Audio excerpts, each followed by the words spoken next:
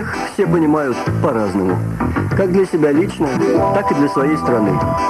Кто-то радуется возвращению России в международное сообщество, кто-то скорбит о том, что Россия отброшена к допетровским временам и лишена даже окна, прорубленного великим царем. Демократы пугают возвратом к социализму.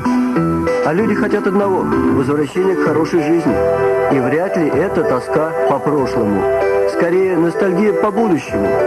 Советский Союз был вторым после США технологическим полюсом на планете. И Россия имеет право вернуться. Только в будущее, в постиндустриальное общество с прекрасной промышленностью, высокими технологиями, благоустроенной жизнью. Но как это сделать? И где? Не может же сразу во всей Великой России стать хорошо. Должны, наверное, возникнуть какие-то точки опоры, отдельные предприятия или крохотные территории. Теоретически кажется невозможно построить стабильность на одном отдельно взятом предприятии. Но теория, особенно плохая, всегда расходится с жизнью. Есть такое предприятие, извините за каламбур. Это старая изношенная магнитка, которая в эпоху всеобщего разрушения затеяла великое и скорое строительство, реконструкцию. Через три года магнитка даст новый металл, и для России это будет как глоток кислорода, как ступенька лестницы, ведущей вверх.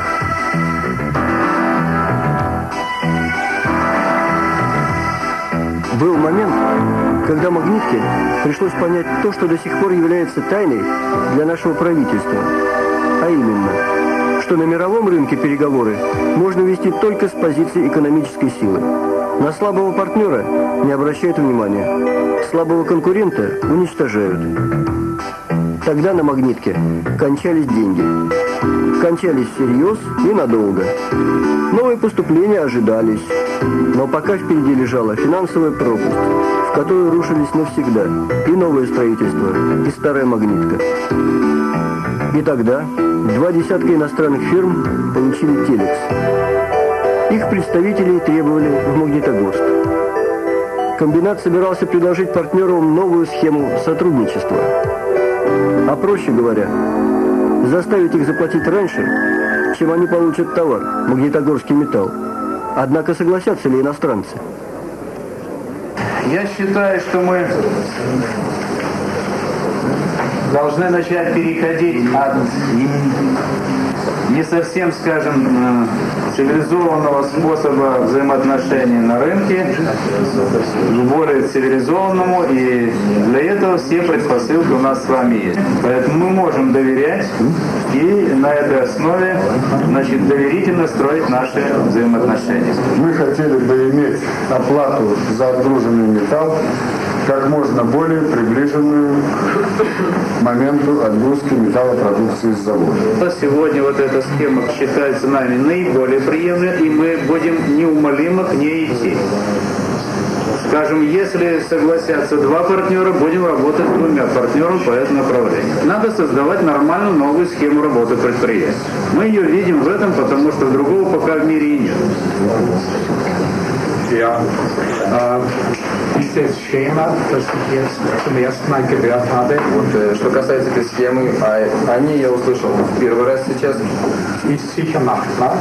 то есть в принципе выполнимая, да. Äh, ich gehe davon aus, dass praktisch diese Finanzierung bzw. die Garantien То есть я и скажу тут из чего, что вот э, финансирование, а также гарантии zu dem Zeitpunkt erfolgen, wo Material vom Kombinat entweder unterwegs ist oder im Hafen ist. То есть, если мы берем за, исход- так сказать, за исходные пункты, э, э, когда материал находится либо по дороге, в дороге, в пути, либо, значит, в портах. Это так? Непривычно, правда? Видеть русского директора, который диктует условия священным коровам, иностранным предпринимателям. Но приятно. Участники встречи прекрасно понимали. Им предлагают поддержать потенциального конкурента, причем в трудную для него минуту. Тем не менее, все до единой фирмы-покупатели металла согласились на предварительную оплату сделок с магниткой. Фактически это означает, что комбинат сумел взять крупный долларовый кредит под божеский процент. Так, Магнитогорский металлургический комбинат обманул судьбу, обманул нашу экономическую систему, которая уничтожает производителя товаров, и при этом поступил исключительно честно. Ведь в выгоде оказались все, и сам комбинат, и кредиторы, и государство, поскольку магнитка, выплавляющая пятую часть стали в стране, осталась цела. И, может быть, самое главное, 450 тысяч человек, жители города Магнитогорска, не стали безработными. На этом фоне смешными выглядят страхи теоретиков от нашей экономики. Одни боятся, что хлынет иностранный капитал и скупит всю страну. Благо, условия для этого созданы.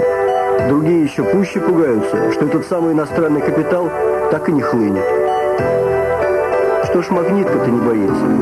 Ни иностранного капитала, ни своего правительства. Молча и упорно реконструируется, возводит на месте старого металлургического гиганта еще более крупную транснациональную компанию «Сталь-2». Ту самую точку опоры для экономики России. Это крупная компания, которую вы создаете и все укрупняете.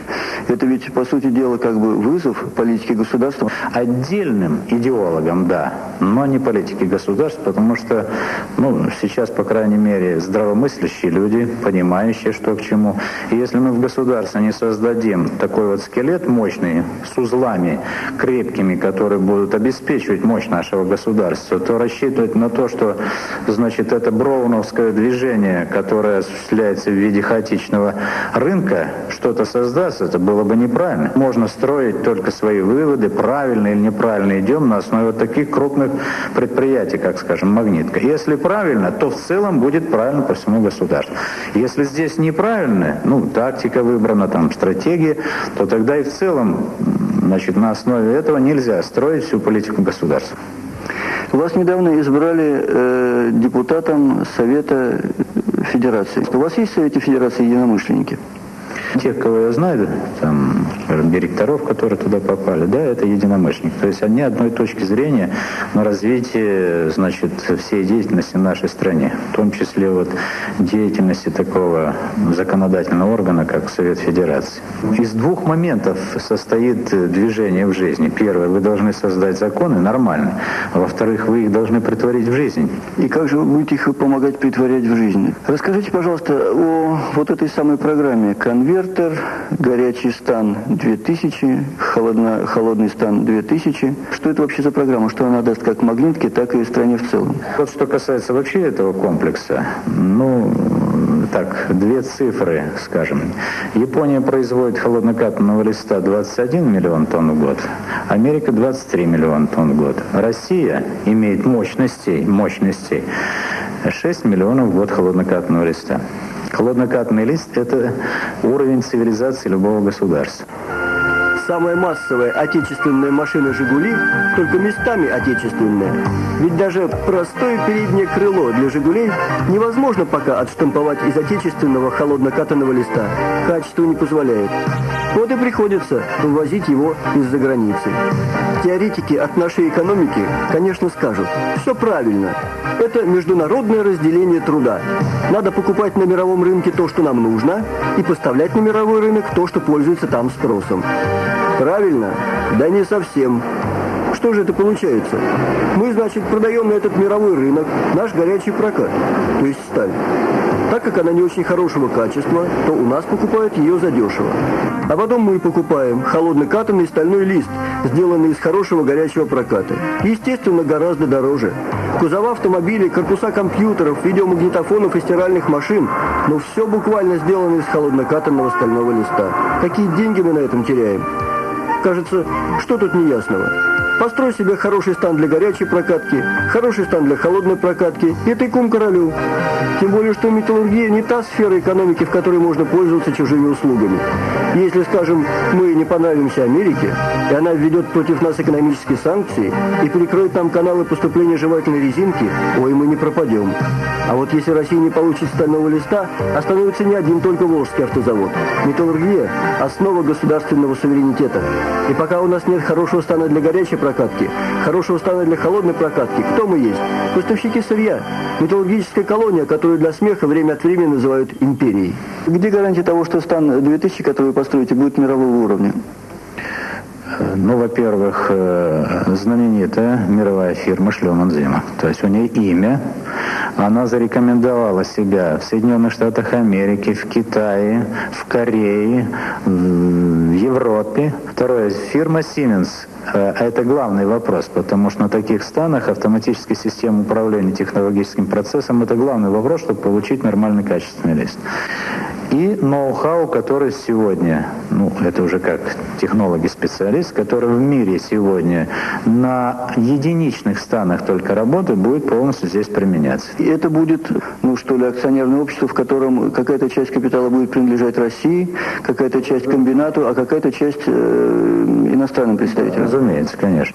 И тогда вы будете выпускать собственный холоднокатный лист э, и поставлять его на мировой рынок, где уже есть поставщики этого холоднокатного листа. Насколько мне известно, сейчас вот на рынке развитых э, стран промышленных Россию просто не пускают. Почему вы думаете, что вы туда попадете?